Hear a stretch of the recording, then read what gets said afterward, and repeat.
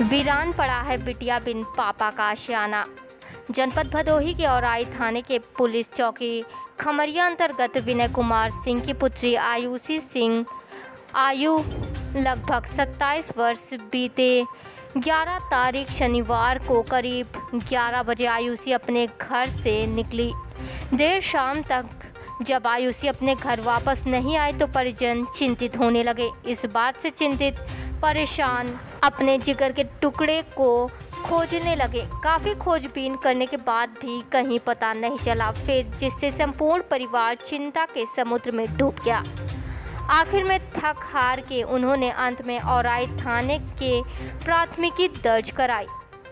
अगले दिन जैसे ही घटना की खबर सगे संबंधियों को हुई सबने अपने अपने स्तर से आयुषी को खोजने का हर संभव प्रयास किया।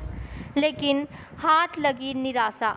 वहीं एक आशा की किरण अभी भी कायम थी कि वो थी। औराई पुलिस, क्योंकि जब से औराई थाने का प्रभार सदानंद सिंह जी ने संभाला है औराई पुलिस एक के बाद एक खुलासे कर अपराधियों को उनके यथोचित स्थान पर भेजकर अपनी सक्रिय भूमिका का प्रमाण दिया था। लेकिन इस बार लगभग एक सप्ताह से ज़्यादा समय बीत चुका है, लेकिन औराई पुलिस भी इस मामले में ज़्यादा कुछ नहीं कर पाई। वहीं जब हमने इस मामले में औराई पुलिस से जानकारी अर्जित की तो औराई पुलिस ने कहा कि आपकी बेटी आपको जल्द ही सौंप दी जाएगी, जिससे परिवार के लोगों में थोड़ी सी उम्मीद जगी थी। लेकिन अब वो उम्मीद भी खत्म होती दिख रही है। जब हमने आज आयुषी के घर जाकर मामले को जानना चाहा तो वहाँ का दृश्य देख इंसान तो इंसान पत्थर भी काँप जाए। आयुषी के पिता विनय सिंह जी के आँखों से आँसू रुकने का नाम ही नहीं ले रहे थे। उन्होंने कहा कि आज 10-11 दिन बीत गए, लेकिन बिटिया नहीं आई जिससे सारा परिवार अपने कलेजे के टुकड़े, पापा की परी, माँ की धड़कन और इस आसियाने की खुशियाँ न जाने कहाँ गुम हो गई।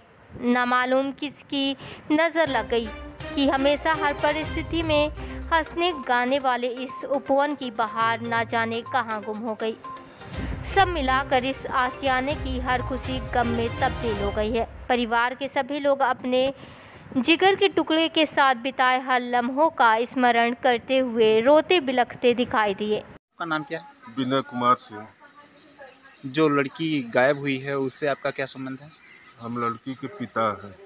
जी कितने दिन से बच्ची गायब हुई है? ग्यारह तारीख को ग्यारह बजे घर से निकली।